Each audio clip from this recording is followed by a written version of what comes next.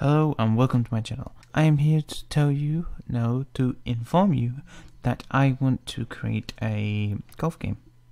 I have some little bit of ideas, but the one little problem, I can 3D model, I can do a little bit of an animation, but the one thing I can do is actually design the game. So stuff like coding, actually developing it and just putting it all together and stuff like that. So I would like some help from you guys. If you know how to code, if you know how to develop some stuff, then hit me up because I need some help on it and yeah, help me out.